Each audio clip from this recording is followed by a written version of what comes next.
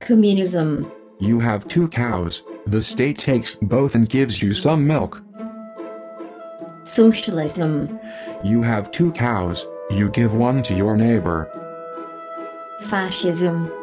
You have two cows, the state takes both and sells you some milk. Bureaucratism. You have two cows, the state takes both, shoots one, milks the other and then throws the milk away. Traditional capitalism. You have two cows, you sell one and buy a bull. Your herd multiplies, and the economy grows. You sell them and retire on the income. Venture capitalism. You have two cows. You sell three of them to your publicly listed company, using letters of credit opened by your brother-in-law at the bank, then execute a debt equity swap with an associated general offer so that you get all four cows back, with the tax exemption for five cows.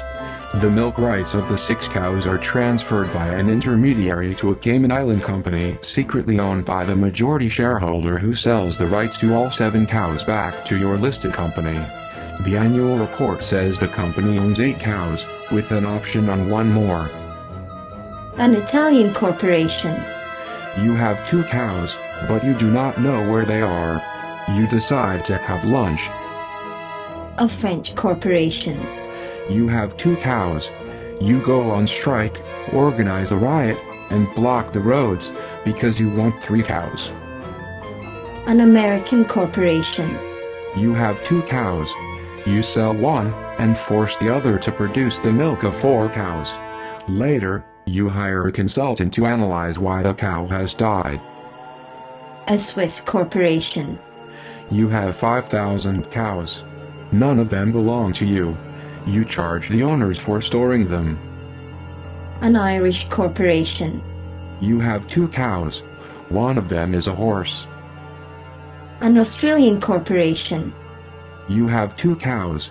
Business seems pretty good.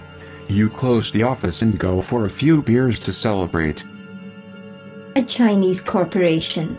You have two cows. You have 300 people milking them. You claim that you have full employment and high bovine productivity. You arrest the newsman who reported the real situation. An Indian corporation. You have two cows. You worship them. An Iraqi corporation. Everyone thinks you have lots of cows. You tell them that you have none. Nobody believes you, so they bomb the crap out of you and invade your country. You still have no cows but at least you are now a democracy. A British corporation. You have two cows. Both are mad. An Indonesian corporation. You have 99 cows. You mortgaged all of them to the bank to buy milk, then dream that you still have one to spare. A Greek corporation. You have two cows, borrowed from French and German banks. You eat both of them. The banks call to collect their milk, but you cannot deliver so you call the IMF. The IMF loans you two cows. You eat both of them. The banks and the IMF call to collect their cow's milk. You are out getting a haircut.